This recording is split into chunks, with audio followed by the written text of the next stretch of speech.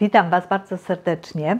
E, Słuchajcie, dostałam e, bukiet po- polnych kwiatów. Już Wam pokazuję. Taki bukiet dostałam, który e, w tej chwili, no będę chciała coś tam uratować, bo powiem Wam szczerze, że dostałam ten bukiet, wstawiłam go do wazonu, a w zasadzie trudno powiedzieć, że to był bukiet, bo to nie był bukiet, tylko tak e, dostałam takie zwykłe polne kwiaty, które były zebrane i tak mi przyniesione. E, I ym, powiem Wam szczerze, że jakoś nie miałam czasu się nimi zająć. One tak dosyć wyglądają, e, no tak sobie już, ale będę chciała dzisiaj, e, dzisiaj coś tam uratować i zrobić jakiś e, bukiet. E, Także jeżeli lubicie takie filmy, to bardzo serdecznie Was zapraszam. No ale jeszcze przywołam Lolę, bo chciałabym e, i również Wy o to prosiliście, żeby stało się tradycją, żeby Lola e, występowała tutaj u nas. Lola, Lola, chodź do mnie. No chodź. O, biegnie, biegnie. Tak, już chodź. O, papa. No, pokaż się. No, gdyby mogła powiedzieć dzień dobry. No, mnie możesz powiedzieć dzień dobry. Lola jest w tej chwili, akurat jak my kręcimy film, to jej się chce spać i powiem Wam szczerze, że, że właśnie ją z tego posłania zawołałam, także niech sobie biegnie e, i później mam nadzieję, że może się obudzi, to jeszcze się z Wami pożegna. A jak się nie obudzi, to już nie będziemy jej budzić. No goń sobie, goń sobie, idź sobie spać, a jak będzie się tu kręcić, to no, no to będzie. E, Jeżeli lubicie tego typu filmy, to bardzo serdecznie e, Was zapraszam. Taki vlogowe e, układanie kwiatów, czy ratowanie, powiedzmy sobie, tego, co zostało tutaj z tych kwiatów. Zaczynamy próbować ratować nasze polne kwiaty. Polne kwiaty są naprawdę przepiękne. Ja nie wiem jak Wy, ale ja jak spaceruję po takich łąkach, gdzie e, jest jeszcze dziko rośl- e, rosnąca roślinność, kwiaty te łąkowe, trawy łąkowe, bardzo, bardzo lubię takie klimaty.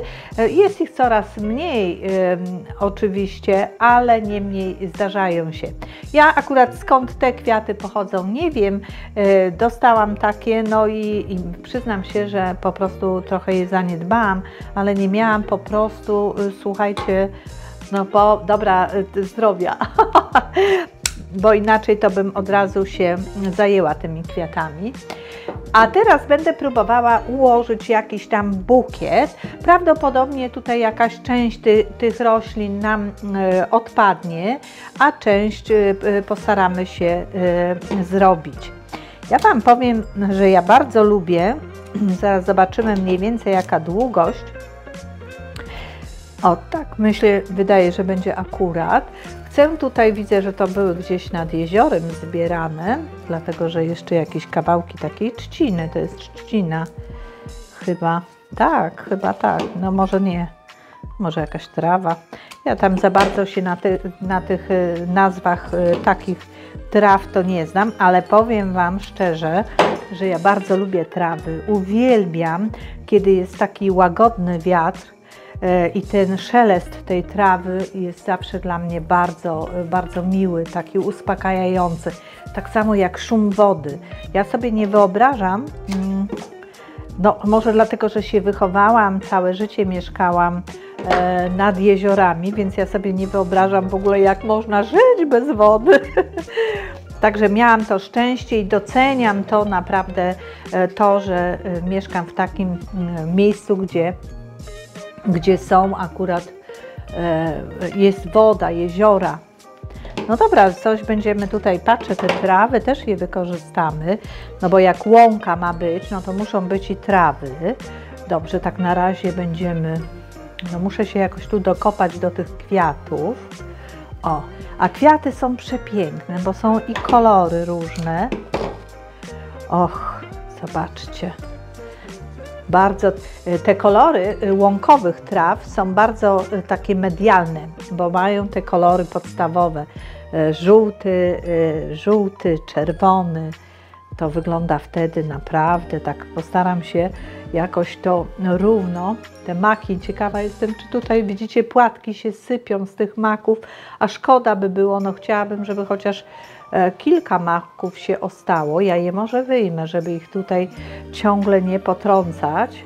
To może się coś tutaj, słuchajcie, uratuje. Położę je na razie tu. Tu chyba rumianek jeszcze jest. Piękne są też ogrodowe maki. Teraz y, moja przyjaciółka Iwona ma przepiękne maki w ogrodzie. E, podzieliła się z tymi makami z Mirą, więc Mira teraz też już ma takie maki i one wyglądają pięknie. Szkoda tylko, że tak krótko y, maki te płatki, te, ta żywotność taka mi się wydaje dosyć krótka. Ten też jeszcze już nie wiem, czy... Jeżeli chodzi o te polne rośliny, to bardzo dobrze jest pozbywać się tej dolnej zieleni, dlatego że one... Tutaj chyba już nic nie ma.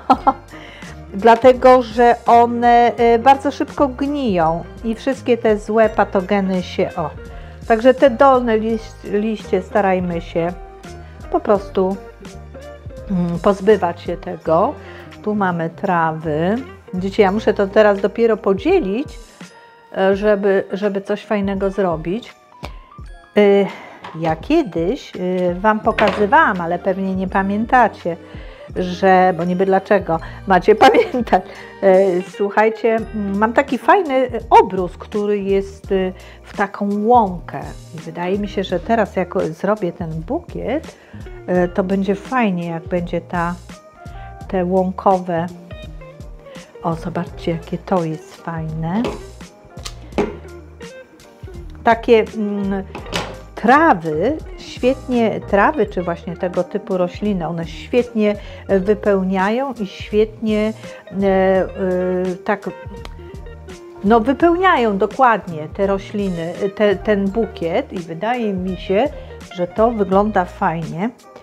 Co prawda taki, te łąkowe bukiety, one takie powinny być takie lekkie, nie takie za ciężkie, tylko tak jak właśnie te te łąki jak wyglądają. O, chciałabym, żeby to stało.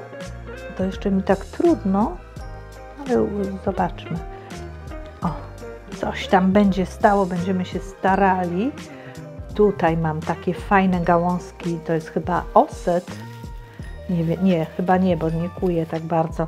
Nie znam nazw tych kwiatów, więc e, jak znacie te nazwy, to fajnie by było, jakbyście pisali, bo e, e, Wy czasami piszecie, że bardzo dużo rzeczy ode mnie się uczycie, że, że ja Was inspiruję, ale muszę Wam powiedzieć, że ja tak samo od Was się uczę bardzo dużo rzeczy, bo, bo tak samo Wy w komentarzach piszecie jakąś nazwę i ja od razu, od razu wiem. Tak samo ja y, śmieję się jak w ostatnim filmie, może nie w ostatnim, już nie pamiętam w którym, y, ten ptak lustrzany y, ja Wam mówiłam, że to mewa. Potem jak oglądałam ten film i montowałam, to sama mówiłam, ma jaka mewa, przecież to widać, że to jaskółka. Ale czasami wiecie jak to jest, kręcicie e, film, coś Wam ucieknie, no jakieś takie krótkie te są, a ja ich tam wcale nie obcinam, tak? One jakoś tu krótko. Albo te za, za duże. No ta jest taka dłuższa, zobaczmy. O, ta już dłuższa jest, fajnie stoi. O, już zaczyna być ich więcej, to zaczynają już fajnie e, tak stać. Tu zobaczmy te trawy. Czy tak dać? Trochę chyba skrócę. Fajnie można się bawić takimi e, bukietami, bo to jest można zrobić nawet jak się ma E, wiecie, takie różne trawy, ta za długa jest na pewno, jak macie takie różne trawy, które teraz e, fajnie jeszcze tak nie pylą, a już kwitną, no to naprawdę przepięknie to e, wygląda. No dobra, zobacz, o, mamy tu jeszcze żółte, jeszcze żółte kwiatki są. To je, nie widzę jak one wyglądają, wiecie co, bo to tak, o tu się złamał, szkoda, że się złamał, będzie krótki. Będzie krótki, to go dajmy tak z boku, żeby był widoczny. O. A te postawmy. tu. O, może tak. A tu jeszcze trawa jest. O. Dobrze. Sobie obejrzę, jak to wygląda. No, myślę, że z każdej strony będzie dobrze. O, jeszcze tu mam żółtego kwiata. Bardzo ładnie ten żółty kolor y, y, w tej chwili wydobywa takie y, u, ładne barwy tych, y, tych roślin. O, mamy tutaj te fioletowe, te jeszcze po, powkładam. Powkładam pierw kwiaty, a potem będę uzupełniać pozostałymi rzeczami. Och, to jest ładne, to jest piękne. To jest bardzo ładne. No i tak jak wspominałam, pamiętajcie o usuwaniu tych liści. To wtedy woda o wiele mniej, wolniej gnije. Nie ma tutaj. O, a. a o, także widzicie? Pięknie to wygląda. Pięknie, naprawdę. Słuchajcie, sama sobie y, pochwały daję, no bo mnie się podobają. W ogóle uwielbiam naturę, a zwłaszcza jak mogę ją wprowadzić do domu, y, to, to, to już jestem w ogóle szczęśliwa. Słuchajcie, pamiętajcie, że tak, jeżeli idziemy na łąki, kwiaty są, nie są pod ochroną, można je rwać, takie na przykład, no to jak nie wyrywajcie z korzeniami. Zawsze dobrze jest mieć sekator ze sobą i wtedy można wyrywać takie kwiaty, ale wtedy zostawiamy korzenie, nie uszkadzamy tych kwiatów, tak jak w ogrodach po prostu. Musimy tak samo o nasze łąki dbać, także zwracajcie na to uwagę, żeby tak robić, a nie wyrywać z korzeniami, bo, bo pamiętajcie, że może po Was przyjdzie jakaś wandzia, która też będzie chciała jakieś kwiaty z tej łąki zebrać.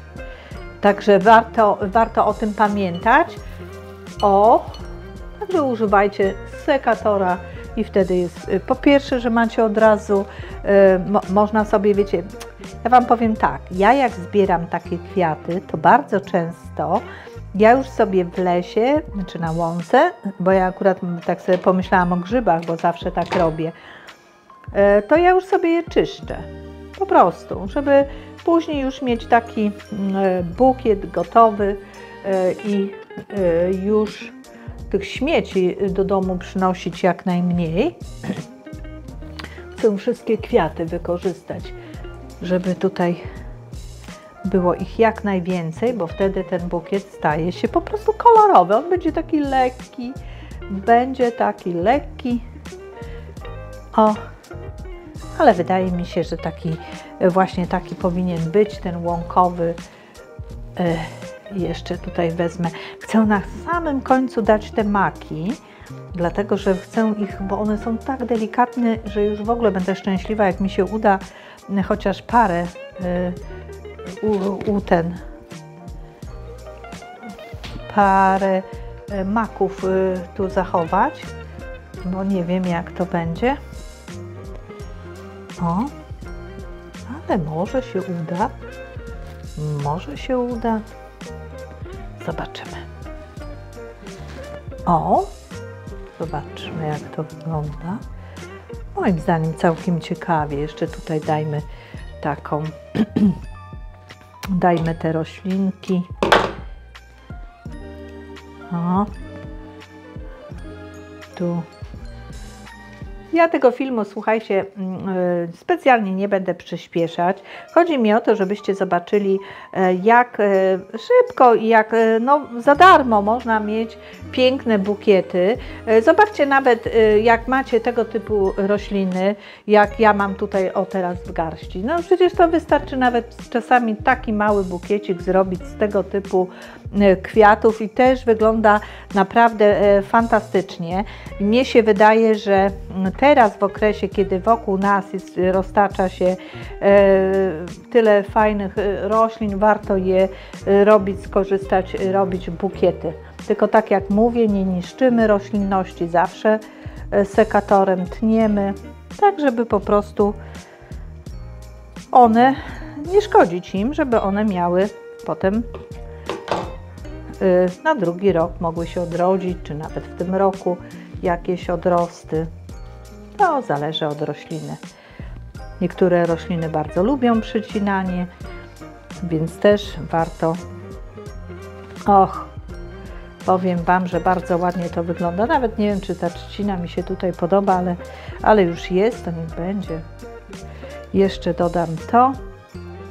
Więcej tego. To też jest ładne, podoba mi się, nie chcę tego zmarnować. O. Dobrze. No i tutaj jeszcze. No zobaczcie, te zielone naprawdę świetnie wypełniają, e, świetnie wypełniają te, mm, te bukiety i wtedy te kwiaty się trzymają o siebie nawzajem, mają podpórkę po prostu. No, najnormalniej w świecie mają podporę. O, no dobra. Tak nie widzę, nie mogłam wziąć sobie ten e, taki. O, dobrze. Pięknie to wygląda. No i słuchajcie, ja teraz postaram się powsadzać delikatnie te maki, bo maki, ten czerwony kolor dopiero, dopiero, ja tu mam pełen dzbanek wody, po to, że jeżeli coś płycej daje, to żeby mi to, mm,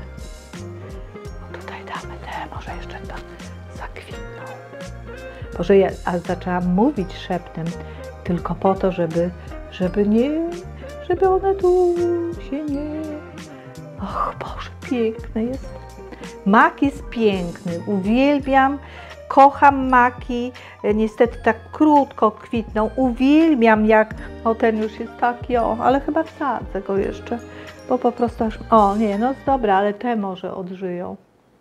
Te, zobaczymy. E, słuchajcie, uwielbiam widok, o, widzicie, gubią, a te nie wiem, czy odżyją, ale dam, bo tak mi szkoda. Zobaczymy. E, uwielbiam, jak już trzeci raz chyba zaczynam to zdanie. E, uwielbiam oglądać e, pola, gdzie właśnie na brzegu takich e, pól rosną chabry, rosną maki. Wygląda to naprawdę przepięknie. No niestety powiem Wam szczerze, że maków tu za dużo nie mam ale wydaje mi się, że one dopiero powodują to, że tu się robi po prostu pięknie. Ten, ten mak, ten kolor jest po prostu przepiękny, przepiękny. No sami musicie przyznać, że dopiero jak się e, do takiego bukietu włoży mak, to się robi kolorowo i pięknie. Dam jeszcze te, te dwie gałązki kwiatków. No i będzie taki, taki letni, słuchajcie, bukiet który wydaje mi się, że e, całkiem sympatycznie wygląda. O, no te niestety już się nie nadają.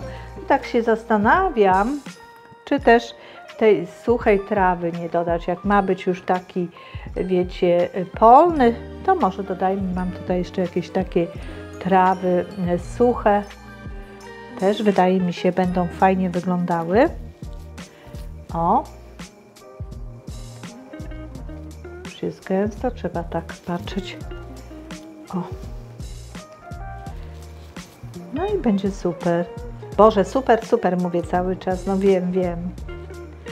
Nadużywam tego słowa. No i jest tyle zamienników na słowo super, super, i to się zgadza, ale mnie się czasami wydaje, że to jest takie uniwersalne słowo, które tak fantastycznie nam yy, jak gdyby, że jak komuś szybko chcemy coś powiedzieć, jak coś wygląda, to właśnie używamy tego słowa. I sobie zdaję sprawę, że można go czasami e, nadużywać. Tu jeszcze tak wezmę. Tu wsadzę tak to suche, to nawet nie musi być wody specjalnie. O. No dobra, mamy to. I tu tak się zastanawiam, może tu dać jeszcze te trawy. Muszę zobaczyć, jak on wygląda, ten, ten y, y, bukiet. Wydaje mi się, że może być, słuchajcie, już nic więcej nie będę dawała. Y, może jeszcze te tylko trawy, tu jednak tak postaram się jednak tu je dołożyć. O. to tak szkoda. Zawsze mi szkoda, jak coś zostaje, no i tak się człowiek potem upycha to. Ale to tak. No i teraz te jeszcze weźmy tutaj, powkładam. Tak na luzie.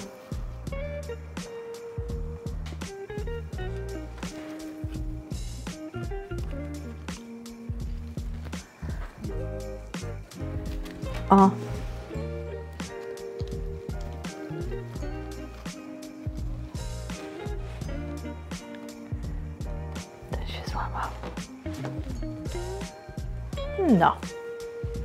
O, już się ta trawa mi połamała, to też. Ona cieniutka jest. O, ta też. No dobra, może ta chociaż przytrwała. No. Okej.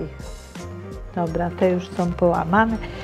No i co? I słuchajcie, ja mam już zrobiony bukiet. Ja sobie tu za chwileczkę, e, za chwileczkę Wam pokażę.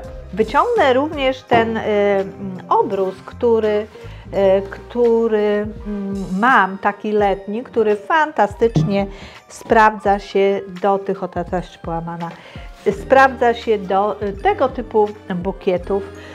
I sami zobaczcie, jak można mieć piękny bukiet kwiatów, który jest zrobiony praktycznie za darmo. Tylko nasza praca i to myślę, że nawet pracą to trudno nazwać, dlatego że to jest tylko e, ułożenie sobie na luzie, w relaksie e, pełnym takiej, takiego bukietu. Już wyjmuję swój obrus, nakryję stół i zaraz Wam pokażę. Idę po obrus.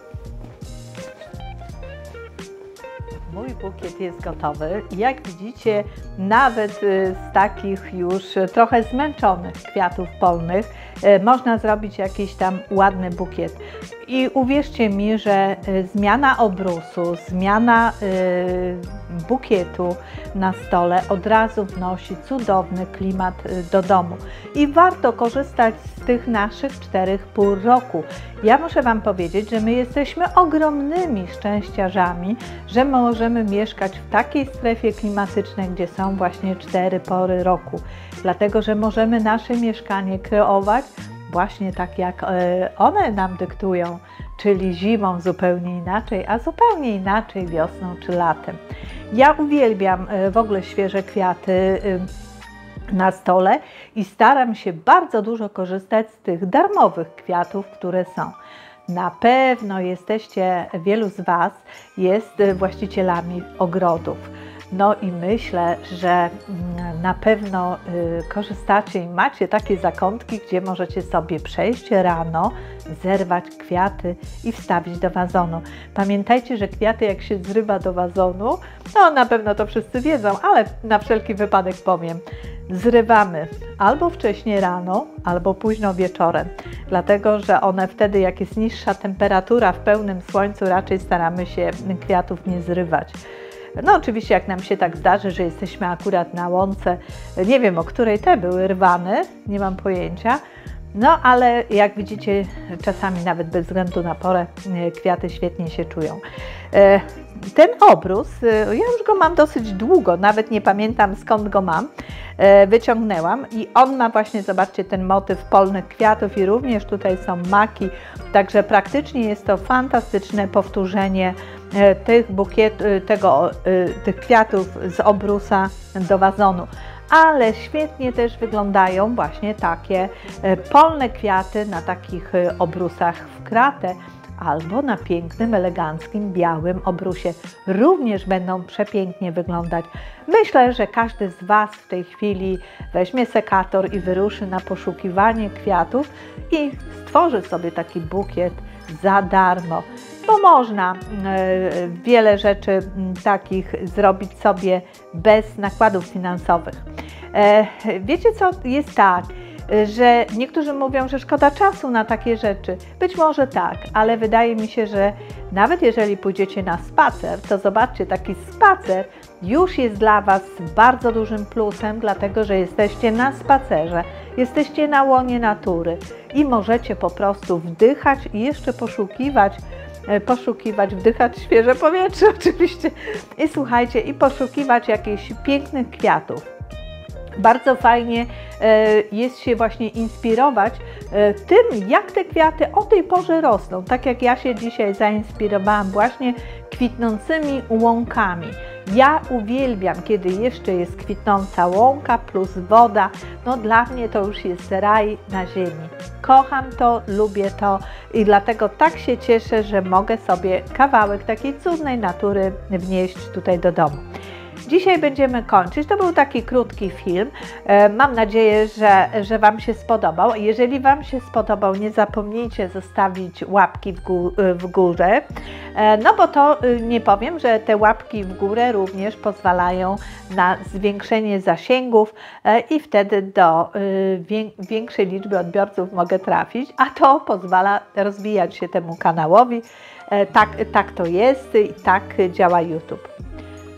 Oczywiście zachęcam Was również do subskrypcji, jeżeli jeszcze tego nie robicie, e, do komentowania. No i przede wszystkim dzielcie się, czy Wy macie, e, korzystacie z tego typu zasobów, jakie e, właśnie daje nam natura za darmo.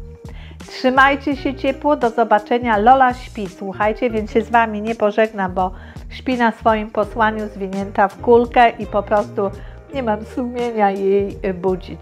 Trzymajcie się, do zobaczenia. Cześć!